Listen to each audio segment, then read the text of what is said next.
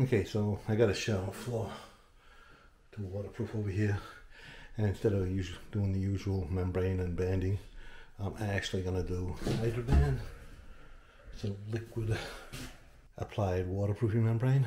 So I'm going to do two coats. This one's very easy. The instructions just say brush it on, uh, you know, liberally, or roll it on with a roller. And two coats. Let the first coat dry in between, and it's all done. So this is actually Hydroban XP. Uh, it's easier to apply than the regular where you need. A mil gauge. This one to figure out what the depth the mil thickness of the liquid applied water membrane is. So I'm gonna make sure this is all completely clean. It has to be cured. When you're doing a mud bed it has to be cured for at least 72 hours and then I'm gonna vacuum it completely get all the dust off it and then I'm gonna give it two coats. Okay so first thing I'm gonna do is gonna get the brush and get the corner all the way around. Two inch overlap. He's still got to build up the curve here with a piece of two inch board but he'll do that at a later date and uh, finish the waterproof because I'm just helping out of this job. I'm not this isn't actually my job. I'm helping out a friend. So this is how he does his shower floors and it's perfectly fine I just prefer the membrane he prefers the liquid applied waterproofing membrane the Hydroban XP which is a fantastic waterproofing membrane okay so I'll use the brush to go all the way around the perimeter. You want to make sure that when you put it on, you don't leave any globs. The instructions say to put it on with a brush or a roller. Doesn't have to be too thick. So I got all the perimeter around, all the way around. And you don't want to leave any globs because if you have globs, the outside of the glob will dry, but the inside will remain wet. It's like putting the lid back on the can. So I got the whole perimeter done.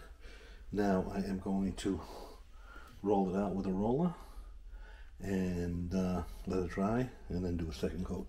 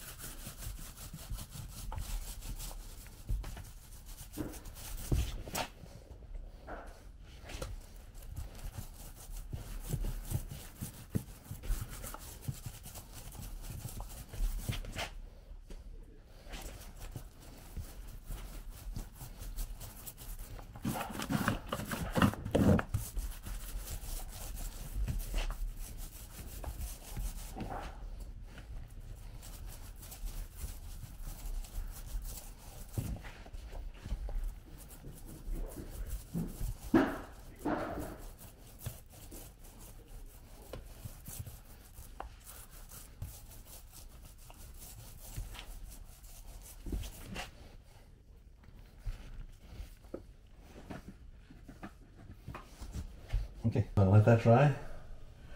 And then we'll give it another coat. You can see that it's already drying over there.